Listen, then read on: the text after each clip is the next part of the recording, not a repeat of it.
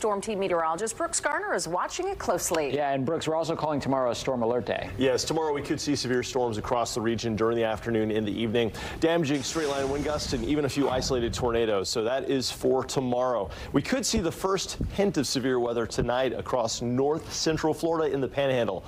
The storms we're getting right now, the storms we'll have through at least 9 o'clock tonight, are non-severe. They're just downpours associated with the change in the air mass, but we certainly have some heavy rain here across Lake County working into eastern Marion County. It is really pouring right now, right on Max Hooks Road and all the way up to the turnpike here, heading up toward Orange Blossom. This stuff moving out of Groveland, going northeast at about 15 miles per hour. We've just had some downpours in the villages area. It's now moving into eastern sections of Marion County with some very heavy rain now right across Forest Lakes Park, Big Scrub, and Starks Ferry. You could very well see a little bit of ponding on the roadways.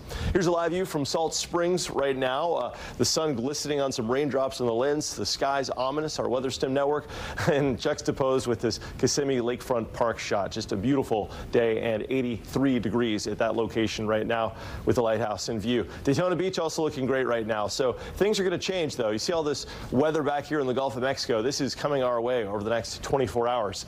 Right now it's 83 degrees in Sanford. It is 83 in Orlando, down from highs today about 85 degrees. This front back to our west about 200 miles is eventually going to swing through tomorrow night. And in doing so, bring severe weather in a two-tiered stage. The first tier tonight across the Nature Coast, north central Florida. The second tier tomorrow evening across central Florida where Orlando is.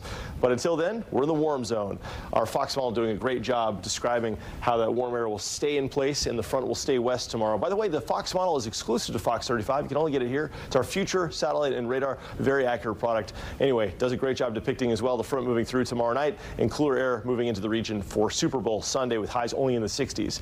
But yes, tomorrow will be in the 80s. So here's a look at a, a closer view of the future radar. Tonight at 8 o'clock, that line of storms rolls up through Daytona Beach, Sanford, and eventually Brevard County. And overnight, we'll be watching this area from Levy County to Dixie County, up through Gilchrist County and Alachua County, right through 6 a.m. for the possibility of a couple of severe thunderstorms and the potential of a few water spouts moving ashore from the Gulf of Mexico. Otherwise, tomorrow for Central Florida will be a dry day. It'll be a dry, warm, and breezy Saturday until the evening, right about sunset, about 6 to 7 o'clock. A few isolated storms could form, and it's these storms forming way out ahead of the main line that could rotate and produce an isolated tornado. So we'll have to watch out for that possibility through 8 o'clock tomorrow evening, especially places like Volusia County where the East Coast sea breeze could get involved. But the main line of severe storms pushing through around midnight tomorrow night would be straight line wind gusts as the main threat, followed by a breezy and cooler Sunday. Now, as far as future tornado chances go, this is a special product you can only see here that shows uh, a very good illustration of what's called the Energy Helicity Index. It's a mouthful, but it's a quick way to get an idea of where storms would most likely be rotating.